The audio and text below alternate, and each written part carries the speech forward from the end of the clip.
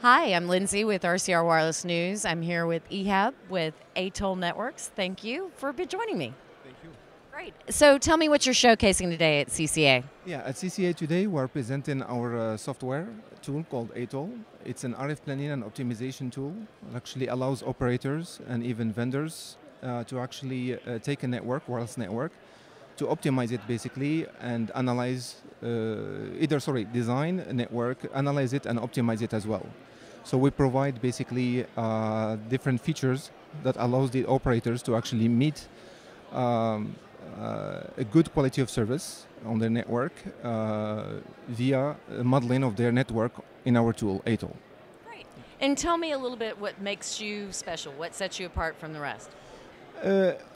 Uh, well, with a lot of competition out there, what makes us distinguished as of now is uh, the release that we've been having of the native 64-bit Atoll. 64-bit uh, removes basically limitations on memory, uh, unlike other applications uh, that are 32-bit, where you might be limited to a project size to work with.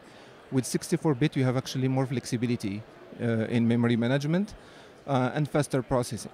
So it allows basically uh, saving time, uh, basically when, when running calculations, and also modeling large networks, uh, basically, or, or large, like what they recommend now with small cells. For example, you might have thousands of cells that you want to model, and with this 64-bit uh, native application, we can do that basically with large number of cells that you can model. So uh, that's what makes us that's one thing that makes us actually distinguished than other competitors.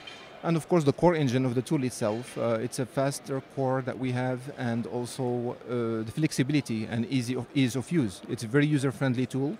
Uh, it allows basically, uh, I mean, it doesn't need or require a lot of training for or, or for, for the user to start using the tool itself. It can be learned fairly quickly, and it can allow them to actually start using it basically fairly quickly. I would say, yeah. Great.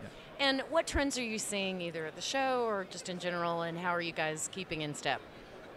Well, uh, the trend as we see now is that there are actually more uh, interest in small cells, um, small cells and Wi-Fi offloading. So a lot of operators are looking into ways to increase capacity.